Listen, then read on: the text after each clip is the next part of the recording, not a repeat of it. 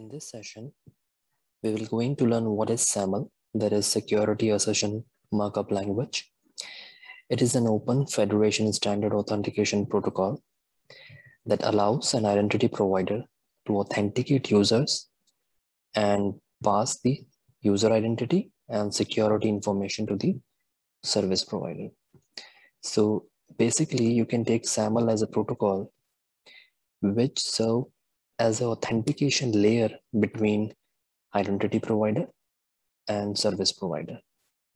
And the authentication is done through a secure method in which a certificate is being generated and shared between the identity provider and the service provider.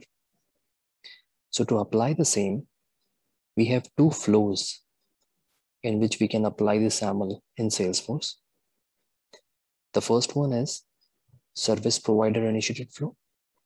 And the second one is identity provider initiated flow. In the next session, we will going to learn what are the SAML terminologies that we require to learn before applying the same.